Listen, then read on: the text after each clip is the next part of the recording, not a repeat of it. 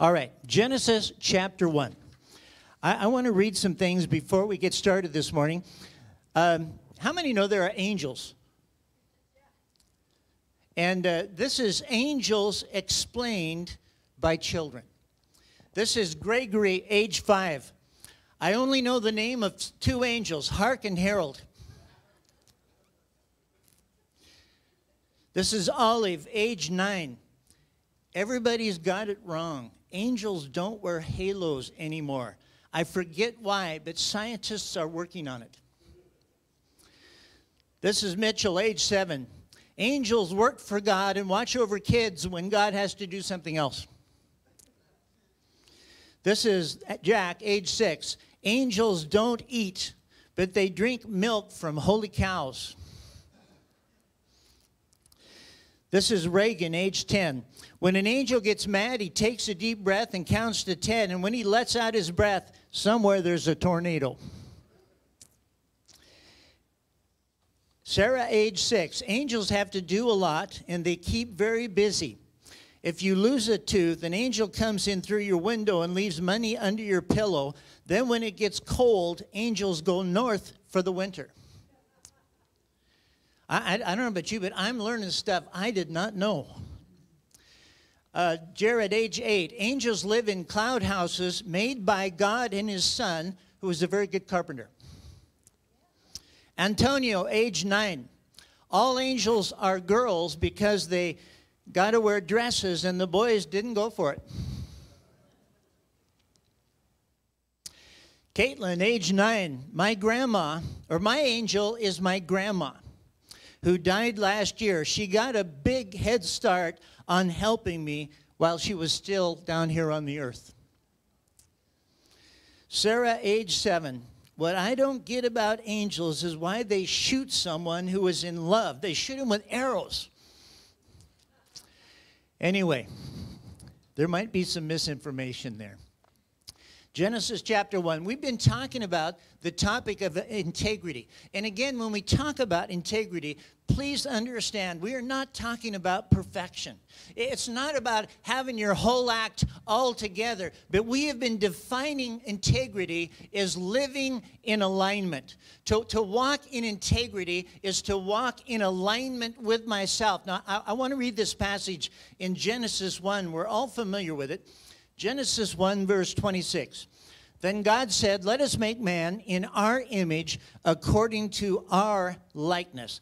So man was created unlike anything else in creation. God created man according to his image and his likeness. That, that is extremely significant. And that is why God was able to give dominion to mankind. Let's keep reading. Let them have dominion over the fish of the sea, over the birds of the air, and over the cattle, over all the earth, and over every creeping thing that creeps on the earth. Let them have dominion over all the earth. Now, see, the earth was not all of God's creation. God's creation is great and vast, but the earth is the part of God's creation that man was given authority to rule over. Verse 27 So God created man in his own likeness. In the image of God, he created him male and female. He created them. See, God created man, male and female. Many times in the Old Testament, when you see the word man, it's not a gender word. It does not mean male. It, it, it, would be better to almost translate it as mankind, which God created male and female. Verse 28 Then God blessed them, and God said to them, Be fruitful and multiply, fill the earth and subdue it. Have dominion over the fish of the sea, over the birds of the air, and over every living thing that moves on the earth. When God created mankind, he also commissioned him. Man was to be fruitful and to multiply, he was to fill the earth and to subdue it. Now, the word subdue means to conquer and, and to bring into subjection. It means to overpower by a superior force to overcome. You were created to exercise dominion in the earth. You were created to rule and reign where God has placed you. To, to have authority under God's authority. It's a delegated authority that comes out of being in right relationship with God. Now, to really get the whole picture, you know, sometimes to, to really understand some specifics, you almost have to look up and kind of get an overview of things. You are in a time, a season of training. You are being trained to rule and to reign with Christ throughout all of eternity. You might say we're in boot camp. God has given us certain things to overcome because you, you can't be an overcomer without having something to overcome. And see, you were created and commissioned by Him to exercise dominion in the earth. You have each been given a sphere of influence. And God wants you to rule and reign in, under His authority. He wants you to rule and reign within that sphere of influence. Now, see, the Bible word for this sphere of influence is the word metron. M E T R O N. And it refers to a sphere of influence. And I just want to read a couple scriptures that have that word in it. Are you guys doing okay? Second Corinthians 10, verse 13. We, however, will not boast beyond measure, but within the limits of the, the sphere, the metron, which God appointed us, a sphere which especially includes you.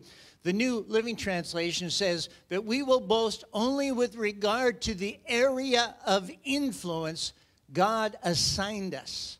The English Standard Version, but we will boast only with regard to the area of influence. Did I read? Did I just read that one? Uh, did I read? Okay, let me just give the King James. But according to the measure of the rule which God has distributed to us. So, this metron, this word that's translated sphere, area, measure, it refers to a, a, sphere of influence or rule. God has given to each one of us a metron, a sphere of influence. God placed you on this planet and He's put you in a specific place to be an influence for the kingdom of God. it's like it's your sweet spot in God. Now, this Greek word metron is also found in Ephesians 4 7.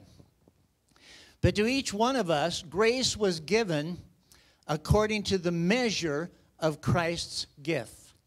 God has given grace to each one of us according to the measure, the, the sphere, the, the metron of Christ's gift, according to the sphere of our assigned influence. God has given you grace to function, to be an influence for the kingdom within the sphere that He has given you.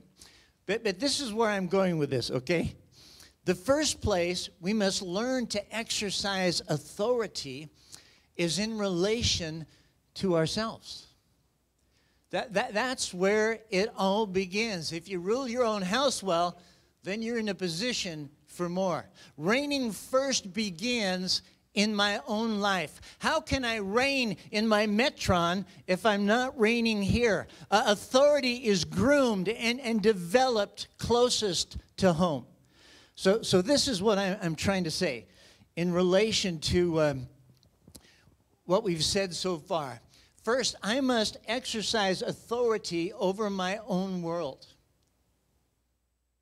If, if I can't exercise authority over myself, if I can't live in alignment, catch that word, alignment with myself, then, then I'm really not ready to exercise a lot of authority around me. Now, what do I mean by being in proper alignment with myself?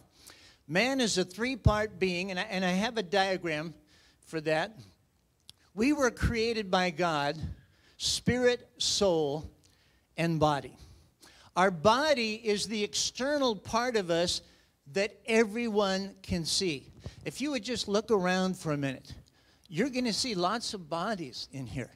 That it's the part of us that, that, that is visible to everyone. My soul consists of my mind, my will, and my emotions. And people get to experience that part of me, or the, uh, how much the experience of that part of me is dependent upon the relationship that I have with them. The closer I am to someone, the more they will experience my thoughts and, and my will and, and my emotions. Now, my spirit is the part of me that was born again in the new birth. It's the part of me that has come alive. And the Holy Spirit is residing in that part of me. My, my spirit is what causes me to become God conscious. That was actually not the right diagram, but that's fine. Go to the one that talks about world consciousness, self consciousness. See, each part of our being has a, a consciousness. My physical body is world conscious. And we've been given five physical senses with which to perceive the world around us. You know, I don't know about you. I know there's a debate on how good bacon is for you. But I'm telling you, when I can smell bacon, it makes me hungry. I, don't know what it is. See, my body has this sense of smell to discern something. I, I can see with my body, I can hear with my body. I, I, have got all these uh, physical um, abilities to perceive the physical realm. Now, my soul is, is self conscious, but my spirit is God conscious, and that's not exactly right. Uh, my spirit is spirit realm conscious. You mean like this?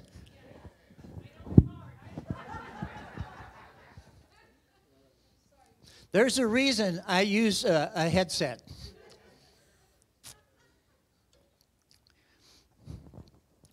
So, my spirit man has the ability to perceive into the spirit realm. That's, that's my God consciousness. But I can also discern spirits. I can also recognize what is of God and what is not of God. And so, just as I can develop my physical senses, I don't know if you know this, you probably do people that are blind have an incredible sense of hearing. Did you know that? It's like if, if, if you're missing a sense, it's like your other senses will become heightened to accommodate for that. I'm doing it again, aren't I? Kabashandalabaki. In the same way, our, my, our spiritual senses can become heightened and developed and, and increased by reason of use, by reason of exercise. As you exercise your spiritual senses, they become sharper and keener and more effective. I am a spirit being, I have a soul, and I live in a body. But the true me is my spirit man. I have a soul, I possess a mind, will, and emotions, and I live in a body but my body is temporary. It's just my, my earthly tent. I, I will get a new one. Glory to God. I don't know what it is about the older you get, the more you appreciate that. Like I'm going to get a brand new body, but but I, I don't. I, even though my spirit man is the most important part of me, and my and I I have a soul, I possess a soul, and my body is temporary. I, it's my earth suit. The minute my body stops operating, I can no longer function on this planet. It, it's the vehicle that allows me to operate. So I do want to take very good care of my body. Bodily exercise profits a little, the Bible says, but godliness is it's more important, it's more significant, it has eternal value, but still, I need this vehicle. The first luxury car I ever bought, I bought it used from a friend of mine. He was a neighbor. His name was Don Rosenbaum, a, a local guy, great guy. I loved him. And um, he, uh, he would buy cars on eBay, fly to where they were, and drive them home. Well, he bought this. It was an Infiniti i 30, and it had like 90,000 miles on it. But, but when I saw it and I saw it was for sale, I said, Don, can, can, we, can, can Mickey and I try that car and check it out? We drove it around. It was, it, it was the first time I ever had a car with climate control. Do you know what I'm talking about? It's kind of like, Dave, the first time. You remember when you, your, you got your first car with air conditioning in it? And you thought, I'm never going back. You know, it was like one of those times, and I just thought, wow, this is, and, and you know, he, he said, I'm going to sell this to you like you're one of my kids. So, so he knocked the price way down, and, but, but I, uh, let me tell you something about that car 90,000 miles. I, I changed the, sh- the oil meticulously on that car. And anytime there was a manufactured recommended recommended recommended service of some kind, I, I did it. I had it done. And I, when I sold that car, I believe it had 245,000 miles on it, and it was running good. I was not aware of a thing wrong with it. Because, see, I just wanted to keep that car humming down the road, and that's the same way I feel about my body. I want to do the things that are necessary to keep this body healthy. I know it's temporary. I know it's not my, not my eternal body, but in order to be here, it has to work. Does that make sense?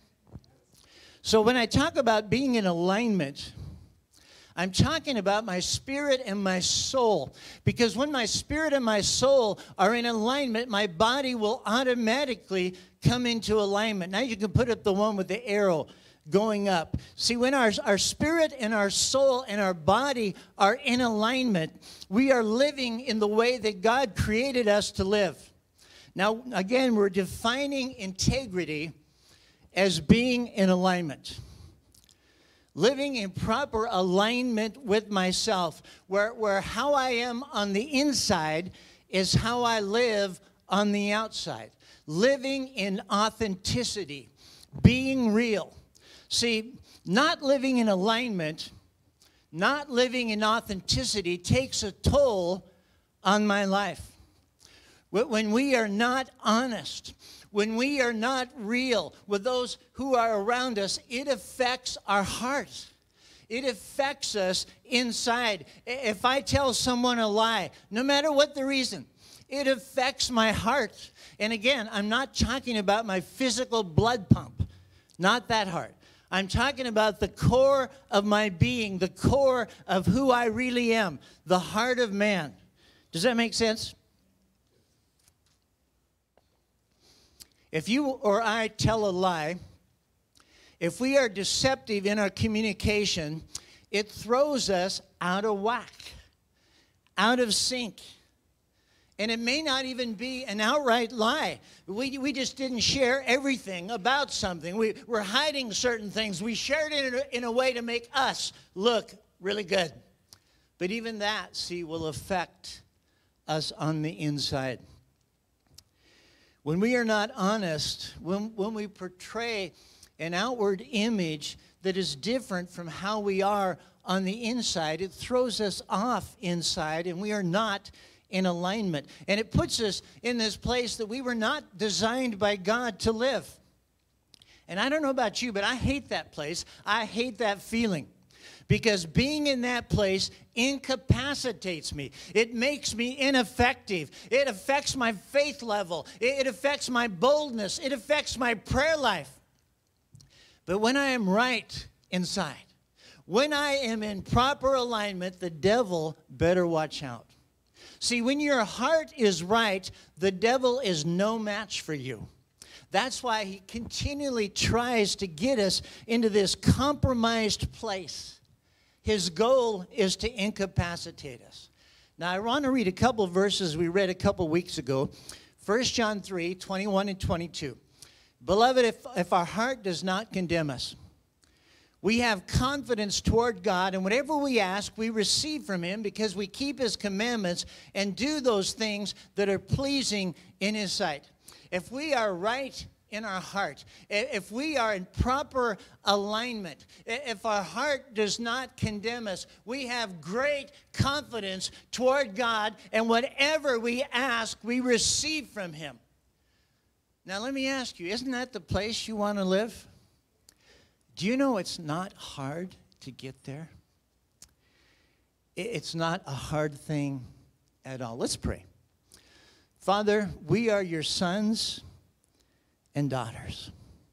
You have called us to be a people of integrity. You have called us to live in proper alignment.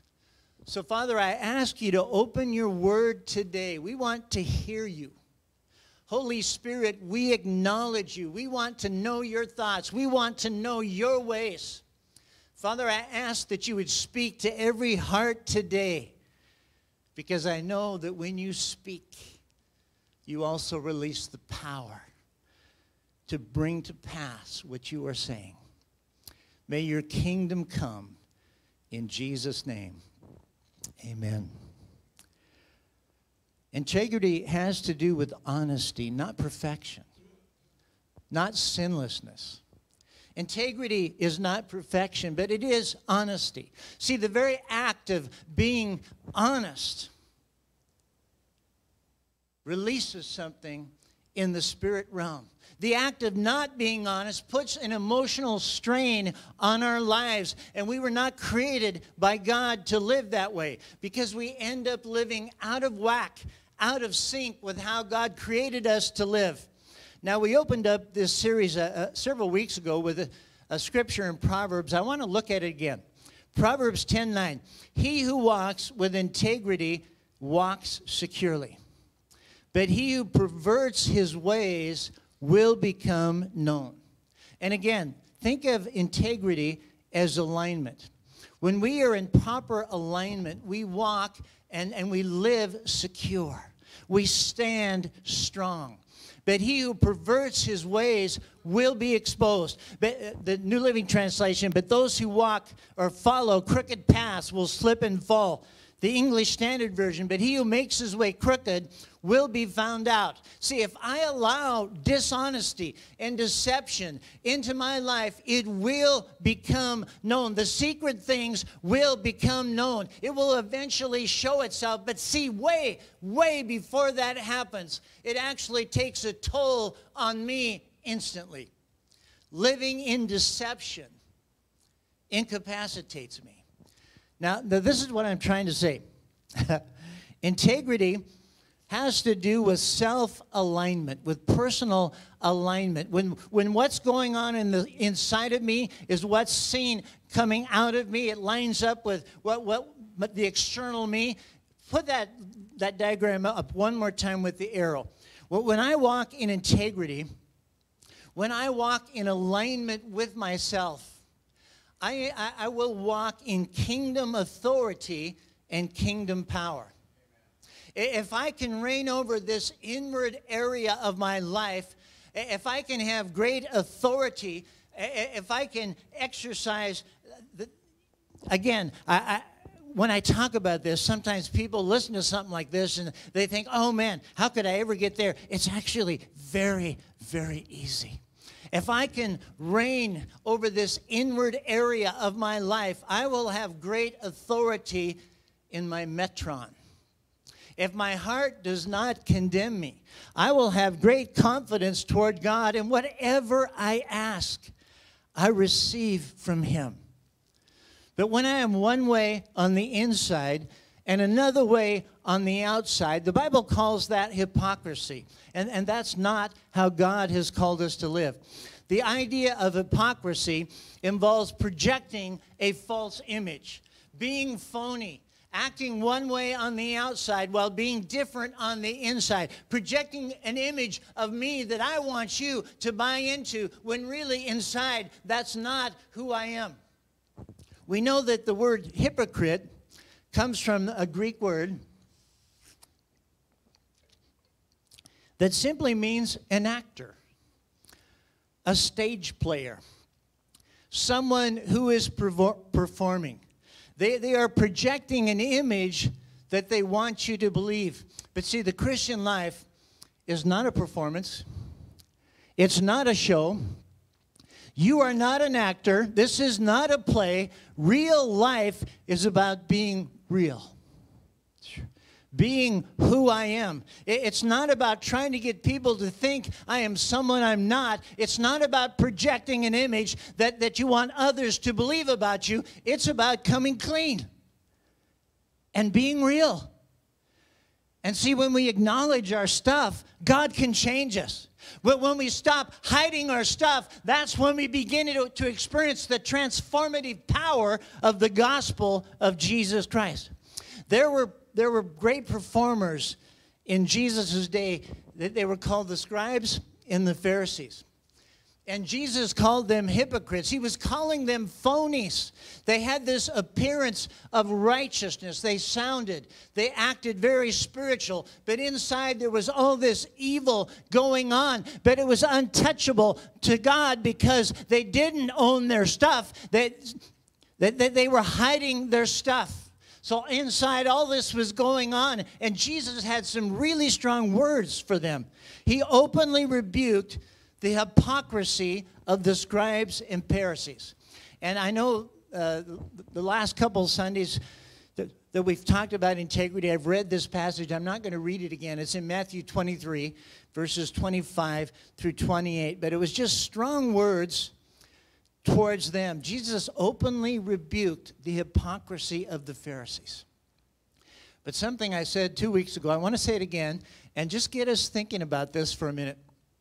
Jesus never rebuked sinners for being sinners. Isn't that interesting?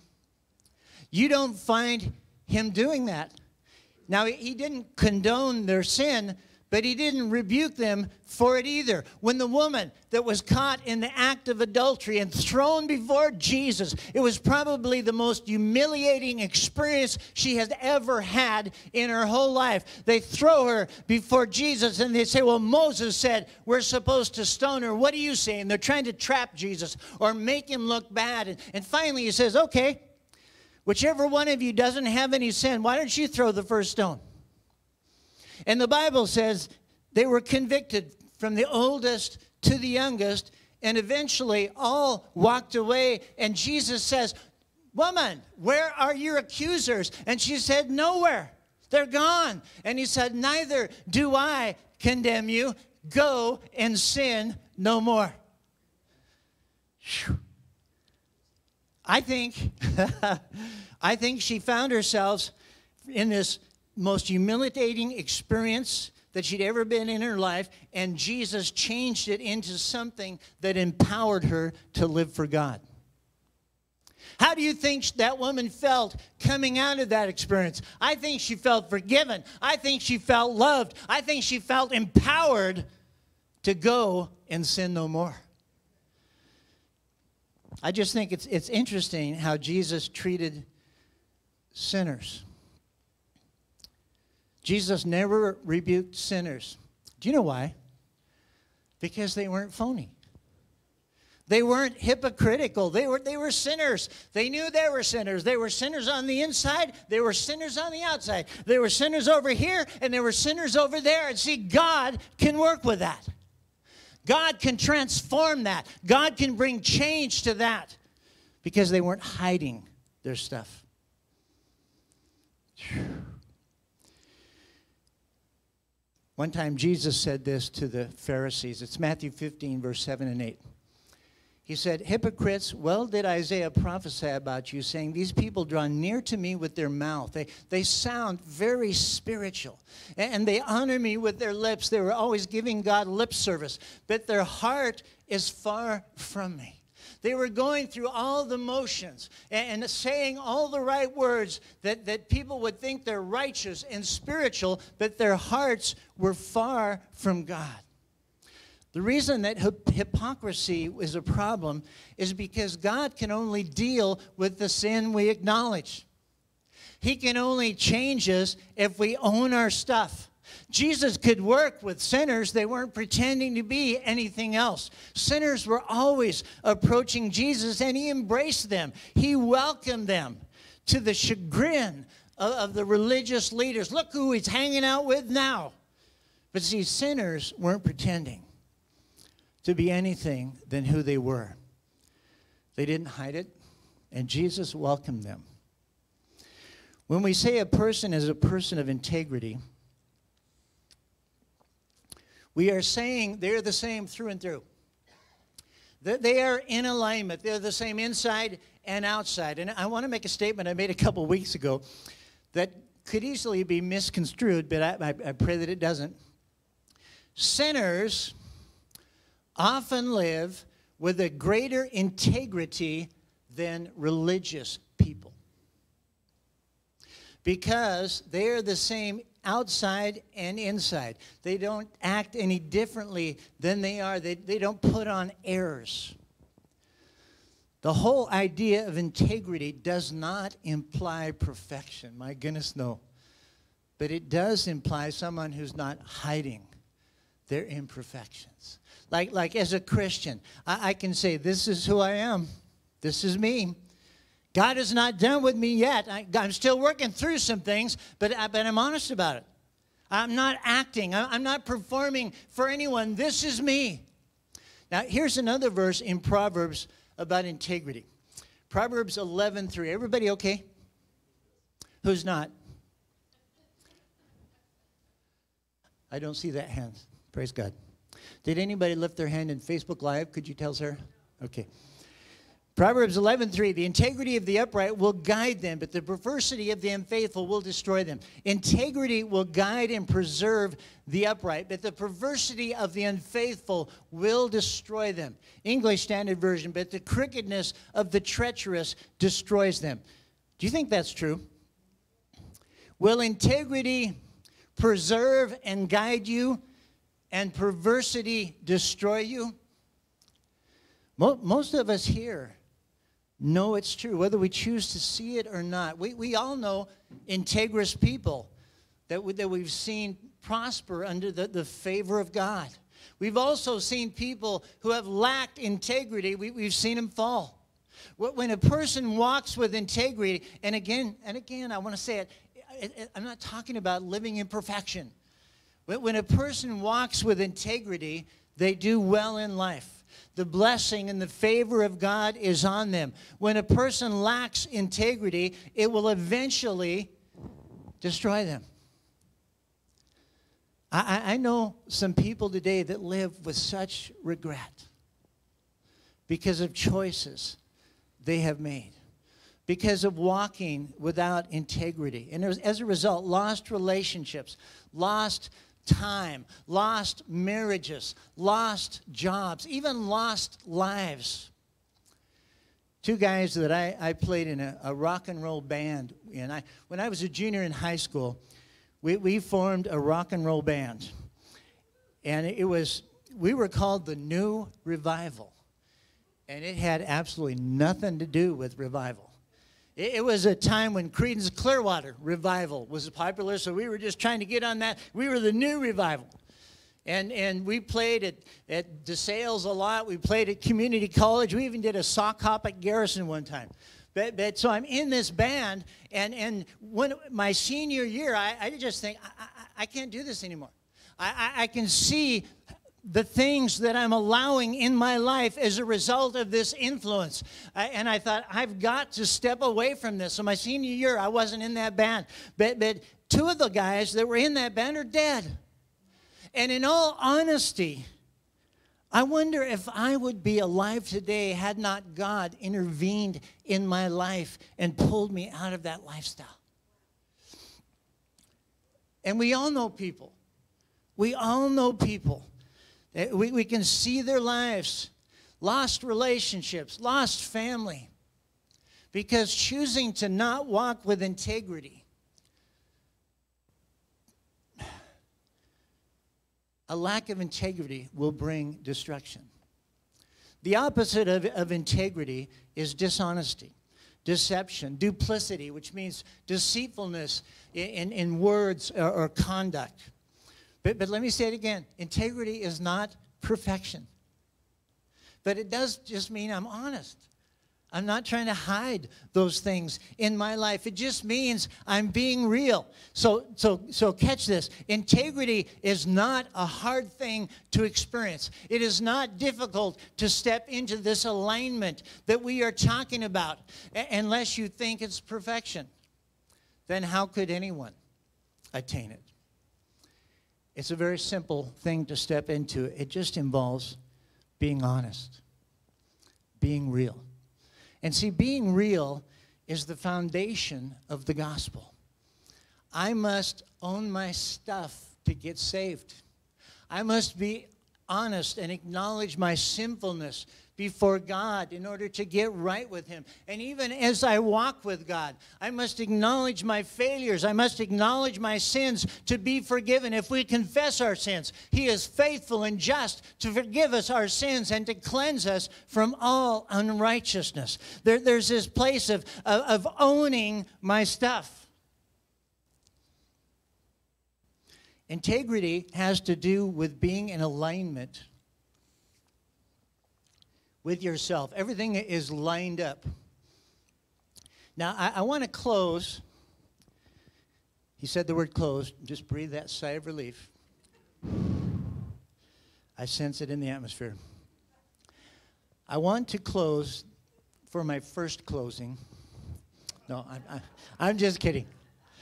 I, I want to close by, by talking about four distinct spheres, realms, or, or worlds, worlds of life and influence that we each live in. The first world that we have is number one, you know, you knew before I even said it. You live in a private world. That there is a part of you that no, where no one else goes. Not, not even those closest to you, not even your spouse. They don't know all of your private thoughts. No one invades that place in your life except you and the God who knows everything. Number two, you also live in a personal world. This is the part of you that you, you share with a small circle of friends. Your, your, your spouse and, and immediate family, and maybe a few friends that are really you know really well. Now, before we get into the, the third area, our professional life, I want to say something. In your notes, integrity is rooted in our private world. It's the life that we develop alone with God in the secret place. In that hidden place, that's where integrity flows from. And see, from there, it flows into all of the, our other worlds. I, have heard architects or, or, engineers, my dad was a, a, civil engineer. I've even heard home builders use this terminology. They will, they will say the, the, the words structural integrity. Anybody ever heard those, that phrase?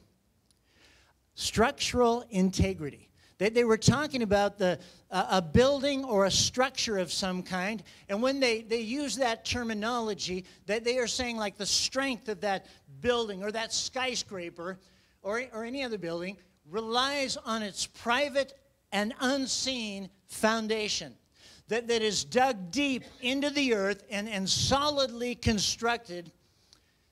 Or, or let me say it this way it, it's the hidden life of a building that brings structural integrity. It's the part of the building that you can't see, but that's what gives it its structural integrity. When Mickey and I built the house we live in, about a third into that, you think, what have we done? Whose idea was this? But we knew that, that if we could do a lot of the labor ourselves. We were the general contractors, and I knew how to do a lot of stuff because my dad had taught me. And you know, I had even poured concrete, I had poured sidewalks and driveways and patios, and I'd worked with it. But when it came to the foundation, I stepped away. And I said, I need to have a professional. Not someone that sort of knows what they're doing, me. I, I, need someone who knows what they're doing to lay this foundation, and we'll build from there. Because the, the, the, the, the structural stability of a house is the weight of that is on the foundation. If you have a bad foundation, you can use the most expensive quality materials above it. It's too bad. It's a bad situation. But if, if the foundation is solid, the weight of that house can rest upon that foundation and have structural integrity. Does that make sense? It's the hidden part of our life that gives us structural integrity. It's our private world that gives us that strength. It's the hidden life of an orange or an apple tree, that, that unseen root system that goes down deep into the soil. That's really what produces that juicy and delicious fruit. And so it, it, it is with us. Integrity is rooted in our private world, that which is not seen by others. In your notes, integrity is reflected in our personal world.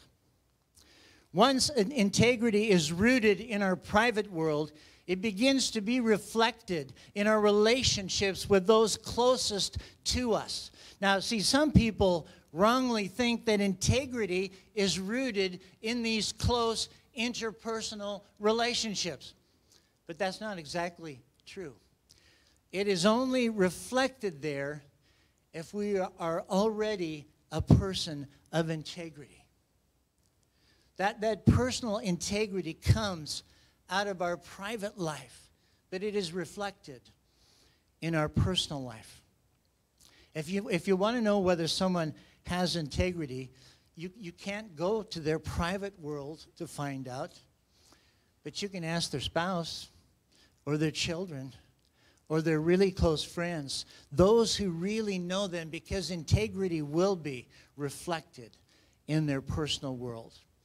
Number three, this is your professional world. That, that sphere of life that may be ever widening. If you have a hidden life where your own integrity finds its roots, it will not only be reflected in your close relationships with those around you, but it will be reinforced in your day to day dealings in, in your work world. In your notes, integrity is reinforced in our professional world. One of the greatest opportunities to make a difference and to engage our culture is out in the marketplace. And, uh, it's just so important that we, as representatives of Jesus Christ, that we, that we spend that time quietly and privately with God and allow Him to deal with, with our heart issues. It, it's so important that we allow that to happen so that it, when we step into the other worlds that we have, that, that, that our life is rooted in that integrity from the secret place. There's a small percentage of people in church on Sunday mornings, and it's even a much smaller percentage since COVID. However, on Monday, multitudes enter the marketplace. And they take notice of people of integrity. People of integrity stand out. Integrity is not rooted in our professional world, it is only reinforced there. And lastly, our, our public world.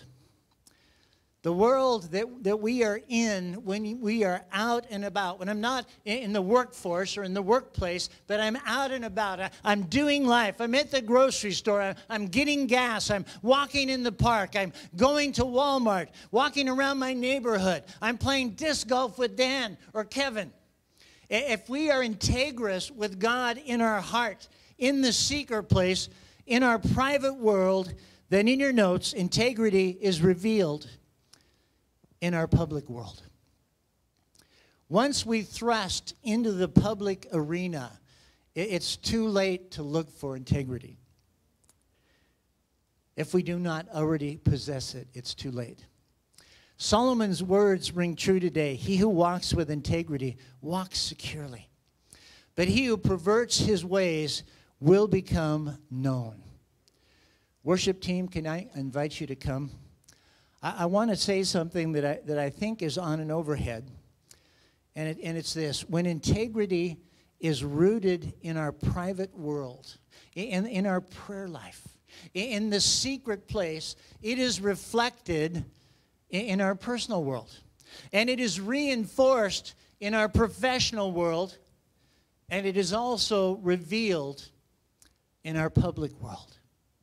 But, but here's, the, here's the takeaway for today, okay? It all starts between us and God. And I want to leave you with a, a verse of Scripture. And, I encourage you to take this into your week because this is where integrity is rooted. That this is where our lives find structural integrity. I'm reading, reading Matthew 6 6. But you, when you pray, go into your room, and when you have shut your door, pray to your Father who is in the secret place, and your Father who sees in secret will reward you openly. This is talking about a very specific kind of prayer.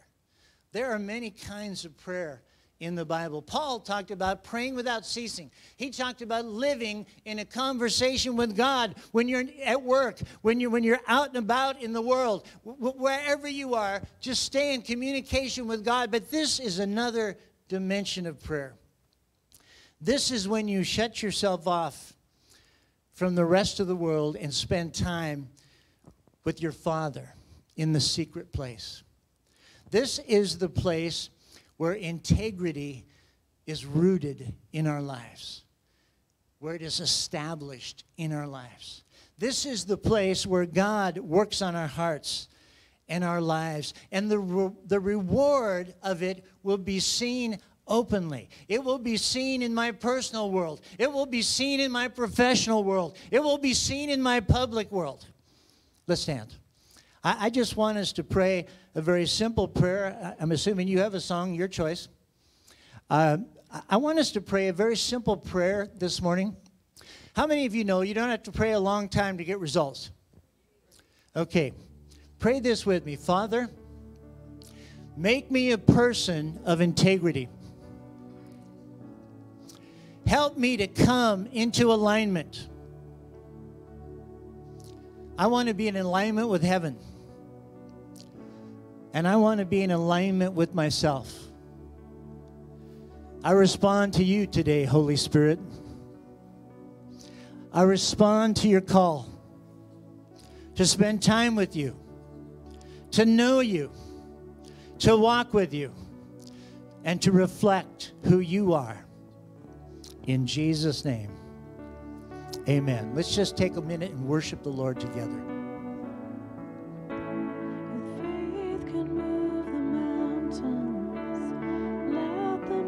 mountains move. We've come.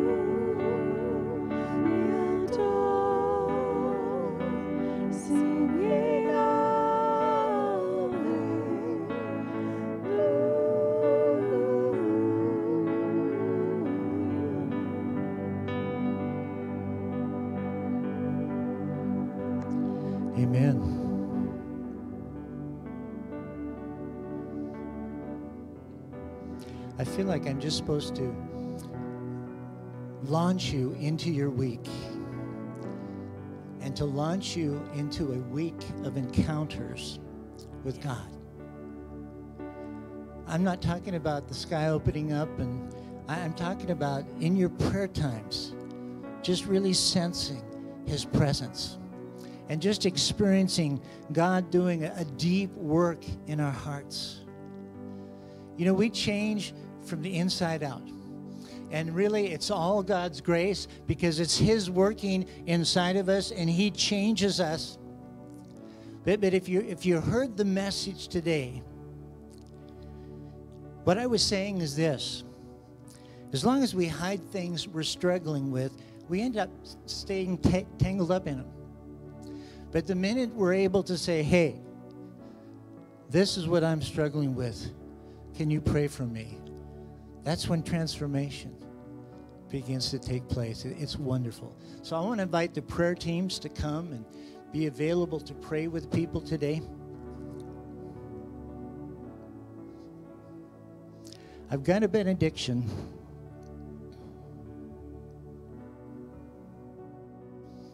Just not supposed to share it yet. Thank you, Lord.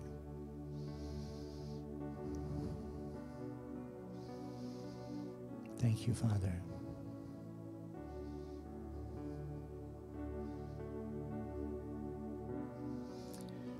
Sometimes we're, scared to really get alone with God because we think, man, I've, I've, just, you know, God's probably really mad, with, mad at me, and all these different things are going on.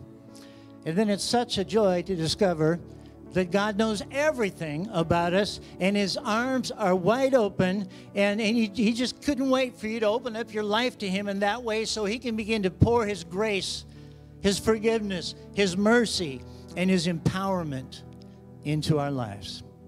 Does that make sense? So the benediction is 2 Corinthians 13, verse 11. Finally, brethren, farewell Become complete. Be of good comfort. Be of one mind. Live in peace. And the God of love and peace will be with you. God bless you, saints. Have a great, great week.